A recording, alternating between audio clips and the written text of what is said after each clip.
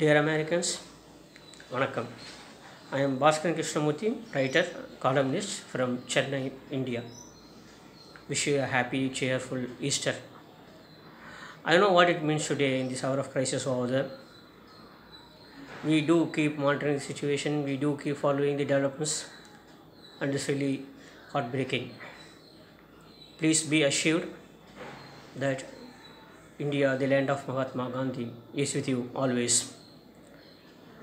I am sure America will bounce back. I am sure this horrific, haunting episode will come to an end sooner than later. As we all know, Americans are the ones known for the grit. America is known for the resilience. Success lies.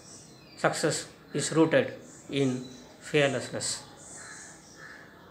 Strong will is the strongest will. I'm sure we will come back, we will bounce back, and tomorrow is ours. Wish you all the very best, Americans.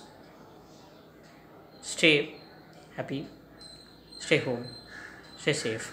Tomorrow is ours. All the best.